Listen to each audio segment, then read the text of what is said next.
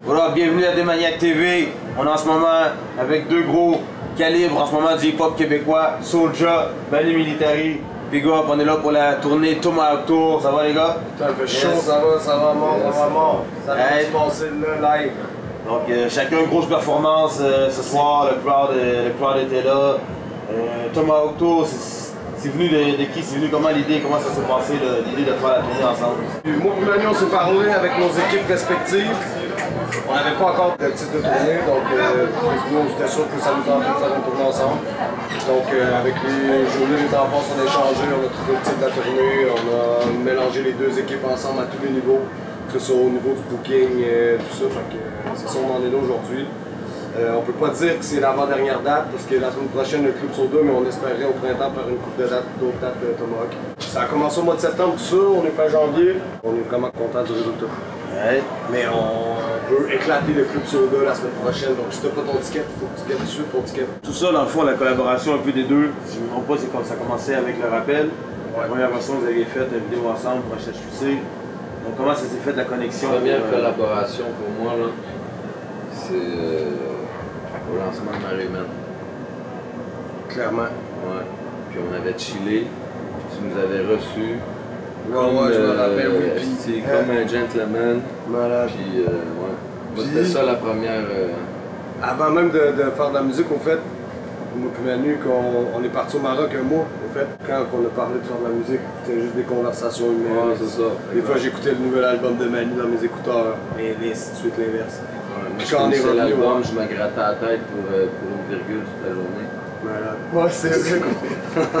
Et puis après, on nous, a, on nous a proposé, man, on m'a dit, Chris, toi, sur le pour, euh, qui t'aimerait travailler pour la compilation, je cherche sûr, j'ai Manu. Puis ils nous ont donné la chance de faire ça, puis une semaine après, on est à Radio Cannes. Je pense que c'était un bon choix. Avec les deux, vous êtes aussi beaucoup sur les lyrics, des paroles, poète, poète en même temps, tu sais, des... vraiment basé sur les paroles. Donc, un mélange des deux. Les crowd se mélange bien aussi. combinaison, Exact. Ouais, c'est bon, c'est bon. Puis toi, ton dernier album, euh, comment, ça, comment ça se passe? Moi, je suis content, vraiment. Merci à tout le monde qui a acheté l'album, qui achète des tickets de show, qui se déplacent, qui sortent dans le salon, tout ça, ça fait plaisir, je respecte beaucoup ça. Déjà en studio pour la suite. Club Soda la semaine prochaine, c'est la date à retenir, au fait, que les tickets sont disponibles. Tu sais où? Faut que tu guettes ça. Samedi prochain, Tour, Club Soda, Montréal. Ad vitam aeternam, en magasin encore en ce moment, sinon sur tout l'internet, vous savez comment ça se passe. Toi, t'as sorti un livre aussi dernièrement, tu peux nous en parler un peu? Sorti ça il y a un an, euh, ça a super bien été, c'est un récit de voyage euh, en Colombie, en Amazonie. Ça a très bien été. C'était un best-seller euh, C'est québécois. c'est un best-seller, mais après, gros, le marché au Québec étant ce qu'il est, Mhm. un best-seller, c'est 5000 ventes au Québec, Ok. dans le livre. Fait que, Je comprends. Ouais. Mais, ma copie, gros. ben oui, gros, mais je l'ai ici. Je l'ai ici. Ben oui, c'est clair. Tout le monde qui écoute aussi, c'est important aussi là, de, de jeter un œil là-dessus, de prendre un moment là, pour, euh, pour lire le livre d'un rappeur québécois. C'est un exploit aussi là, euh, en tant que rappeur. Ça montre à quel point le gars est sur les paroles, il y en a mine. Vous demandez aussi, euh, grande plume justement. Grande plume. Combien de temps ça peut te prendre pour faire une chanson, être satisfait d'une chanson? rentre dans ce sujet-là! Non, mais gros, pour Non, de vrai. vrai, pour de vrai, j'ai déjà écrit des tracks. Un des meilleurs tracks que j'ai écrit, que moi je considère, c'est pour chaque goutte de pétrole. Moi, je pense que c'est un des tracks les plus poétiques, les imagés et tout. Ça m'a pris 4 jours. J'ai déjà pris deux mois sur un track qui fait pas l'album au final. C'est c'est déprimant le soir quand tu rentres chez vous.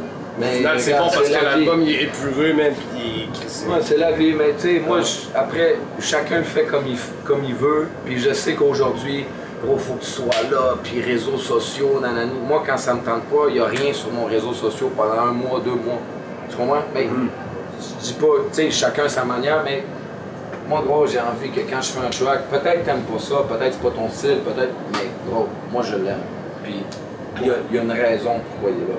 Fait que, regarde, je continue de cette manière Quand vous écrivez un texte, prenez le temps de, le retravailler. Si vous voulez vo- avoir une carrière qui peut ressembler à Manu à Soulja, il faut bien travailler ses textes. Une dernière question, euh, qui être une double question pour y aller un peu plus personnel dans, vos goûts à vous. Toi, Saint-Lô, tout d'abord, c'est quoi ton film préféré, ton classique? Dans le niveau de- du cinéma de tous les temps? Au niveau du cinéma, Grosse question. Une question parce que j'en ai une coupe. Réservoir Dog, j'adore ce film. Euh, moi, je, je pourrais dire euh, Snatch. Snatch. Oh, ton artiste, ça peut être international ou peu importe, ton artiste de ton enfance, quelque chose, ton idole de jeunesse dans le rap, admettons.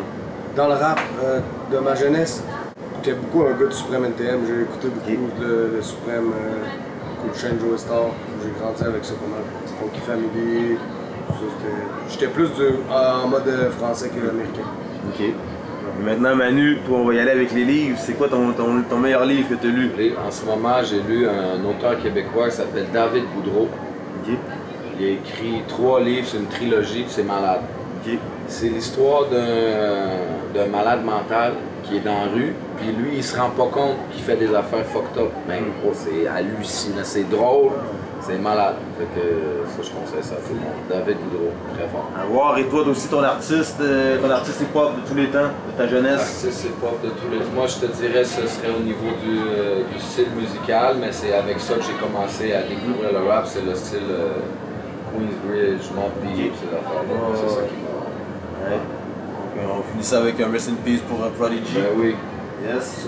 Donc, big up, big up. Merci José. Yes. Merci, bonne tournée, bonne continuité dans vos carrières respectives. Donc, c'était l'entrevue Soja, Manu Militari, Thomas Acto, des Mayak TV. Ah, ah, ah!